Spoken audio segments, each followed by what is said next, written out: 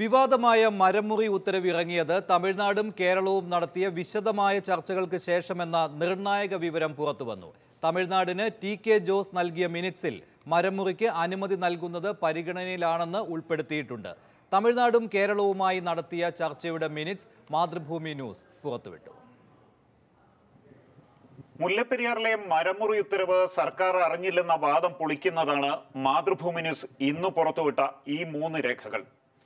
അതായത് നവംബർ രണ്ടിന് സെപ്റ്റംബർ പതിനേഴ് നടന്ന യോഗത്തിന്റെ അടിസ്ഥാനത്തിൽ additional chief secretary T K Jose Tamil Nadu chief സെക്രട്ടറിക്ക് അയച്ച ഒരു കത്താണ് ആദ്യം മാതൃഭൂമി ന്യൂസ് പുറത്തുവിട്ടത്.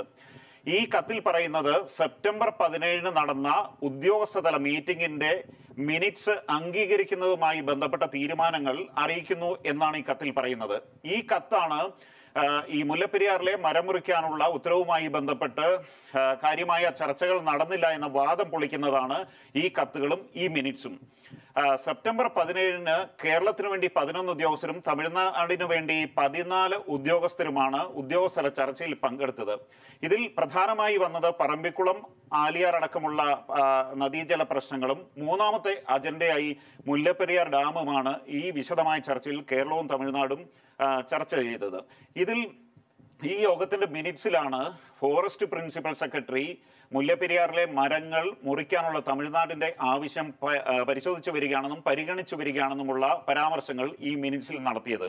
അതിനുശേഷം മുല്ലപ്പെരിയാറിലേക്കുള്ള ഡാമിലേക്കുള്ള റോഡിന്റെ അറ്റകുറ്റപ്പണി ചെയ്യുന്നത് സംബന്ധിച്ചുള്ള കാര്യങ്ങളും അതിൽ പരാമർശിക്കുന്നുണ്ട്.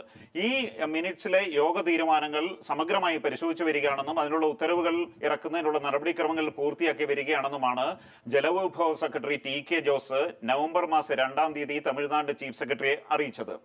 മറ്റൊരു പ്രധാനപ്പെട്ട വസ്തുത ഒരു വകുപ്പും മന്ത്രിമാരും അറിഞ്ഞില്ല എന്ന് പറയുമ്പോഴും സമഗ്രമായ ചർച്ച ഈ മരം മുറിക്കാനുള്ളത് സംബന്ധിച്ച് വിശദമായ ചർച്ച നടന്നു എന്നാണ് ഈ additional chief secretary T K ജോസിന്റെ കത്തിൽ നിന്നും തമിഴ്നാടുമായുള്ള യോഗത്തിന്റെ മിനിറ്റ്സിൽ നിന്നുമൊക്കെ നമുക്ക് വ്യക്തമാകുന്നത്.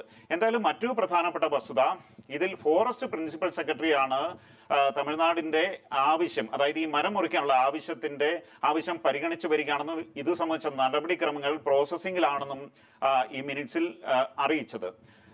ഇതിൽ ഏറ്റവും പ്രധാനപ്പെട്ട വസ്തുത സസ്പെൻഷന് ശേഷം സസ്പെൻഷനുമായി ബന്ധപ്പെട്ട് ബെന്നിച്ചൻ തോമസ് അതായത് ഈ മരമുറി ഉത്തരവിറക്കിയ ചീഫ് വൈൽഡ് ലൈഫ് വാർഡനായ ബെന്നിച്ചൻ തോമസ് സർക്കാരിന് നൽകിയ മറുപടി കത്തിൽ ഈ യോഗം ത്തിന്റെ മിനിറ്റ്സ് എടുത്തു പറഞ്ഞാണ് അദ്ദേഹം മറുപടി നൽകിയിരിക്കുന്നത്. സെപ്റ്റംബർ പതിനേഴിലെ യോഗത്തിൽ ഫോറസ്റ്റ് പ്രിൻസിപ്പൽ സെക്രട്ടറിയും ജലവിഭവ ജലവിഭവ സെക്രട്ടറിയും അതുപോലെ താനുമടക്കമുള്ളവർ യോഗത്തിൽ പങ്കെടുത്തിരുന്നു എന്നും ഈ യോഗത്തിന്റെ യോഗത്തിൽ മുല്ലപ്പെരിയാറിലെ മരം മുറിക്കാനുള്ള ആ, ഒരു തീരുമാനത്തിലേക്ക് ഒരു ധാരണയിൽ എത്തിയിരുന്നു എന്നും ബെന്നിച്ചൻ തോമസ് സർക്കാർ നൽകിയ റിപ്പോർട്ടിൽ പറയുന്നുണ്ട്. സെപ്റ്റംബർ പതിനേഴിന് നടക്കുന്ന ഉദ്യോഗസ്ഥതല യോഗത്തിന് മുന്നോടിയായി സെപ്റ്റംബർ പതിനഞ്ചിന് വൈകിട്ട് സെക്രട്ടേറിയറ്റിൽ താൻ ഉൾപ്പെടെയുള്ള വനംവകുപ്പ് ഉദ്യോഗസ്ഥരും ജലവിഭവ ഉദ്യോഗസ്ഥരും additional chief secretary T K ജോസും തമ്മിലുള്ള യോഗം നടന്നിരുന്നുവെന്നും അതിനുശേഷമാണ് സെപ്റ്റംബർ പതിനേഴിന് പിന്നീട് രണ്ടു ദിവസം കഴിഞ്ഞ് തമിഴ്നാട് ഉദ്യോഗസ്ഥരുമായി യോഗം നടത്തിയെന്നും അദ്ദേഹത്തിന്റെ വിശദീകരണത്തിൽ പറയുന്നുണ്ട്. ഈ യോഗത്തിൽ സെപ്റ്റംബർ പതിനേഴിൽ നടന്ന യോഗത്തിൽ തീരുമാനമായതിന്റെ അടിസ്ഥാനത്തിലാണ് താൻ ഉത്തരവ് ഇറക്കിയത്. മറ്റു പ്രധാനപ്പെട്ട വസ്തുത ഇക്കാര്യത്തിൽ തനിക്ക് മാത്രം ഒന്നും ചെയ്യാൻ പറ്റില്ല. കാരണം സുപ്രീം കോടതി വിധി അനുസരിച്ചുള്ള നടപടിക്രമങ്ങൾ പാലിക്കേണ്ടതുണ്ട്. മുല്ലപ്പെരിയാറിലേക്കുള്ള റോഡ് നിർമ്മാണത്തിനായി തങ്ങൾ നമ്മൾ അനുമതി കൊടുത്തില്ലെങ്കിൽ ബേബി ഡാം ബലപ്പെടുത്താൻ കഴിയില്ല എന്നും അത്തരത്തിലുള്ള ഒരു നടപടി തന്റെ ഭാഗത്തുനിന്ന് ഉണ്ടായിട്ടില്ല എന്നും ബെന്നിച്ചൻ തോമസ് ഈ കത്തിൽ പറയുന്നുണ്ട്. പക്ഷേ സെപ്റ്റംബർ പതിനേഴിന് നടന്ന ഈ യോഗത്തിന്റെ അടിസ്ഥാനത്തിൽ അതിൽ ധാരണയായതിന്റെ അടിസ്ഥാനത്തിലാണ് താൻ മരം മുറിക്കാനുള്ള ഉത്തരവ് എഴുതിയത് എന്നാണ് അദ്ദേഹം വ്യക്തമാക്കുന്നത്. ഇക്കാര്യത്തിൽ ഒരു ഉദ്യോഗസ്ഥൻ എന്ന നിലയിൽ തനിക്ക് മറ്റൊരു നിലപാട് സ്വീകരിക്കാൻ കഴിയില്ല എന്നും അദ്ദേഹം ഉത്തരവിൽ പറയുന്നുണ്ട്. എന്തായാലും ഒരു കാര്യം വ്യക്തമാണ്. കാരണം ഇതിനകത്ത് ബെന്നിച്ചൻ തോമസ് എന്ന് പറയുന്ന ഈ ഉത്തരവിറക്കിയ ആ ഒരു ഉദ്യോഗസ്ഥനെ മാത്രം ബലിയാടാക്കിക്കൊണ്ട് ബാക്കിയുള്ള ഉദ്യോഗസ്ഥർ സംരക്ഷിക്കപ്പെടുന്ന തലത്തിലേക്കാണ് കാര്യങ്ങൾ ഇപ്പോൾ എത്തി നിൽക്കുന്നത് എന്ന് വേണം വിലയിരുത്താൻ. മറ്റൊന്ന് ഇത്തരതലത്തിൽ അതായത് ഈ രീതിയിൽ വളരെ സമഗ്രമായി അതായത് കേരളത്തിന്റെ ഭാഗത്തുനിന്ന് പതിനൊന്ന് ഉദ്യോഗസ്ഥരും തമിഴ്നാടിന്റെ ഭാഗത്തുനിന്ന് ചീഫ് സെക്രട്ടറി അടക്കമുള്ള പതിനാല് ഉദ്യോഗസ്ഥരും പങ്കെടുത്ത യോഗം ഇവിടുത്തെ മന്ത്രിമാരും സർക്കാരും അറിഞ്ഞില്ല എന്നുള്ള വാദങ്ങൾ പൊളിക്കുന്നതാണ് മാതൃഭൂമി ന്യൂസ് ഇപ്പോൾ പുറത്തുവിടുന്ന ഈ രേഖകൾ.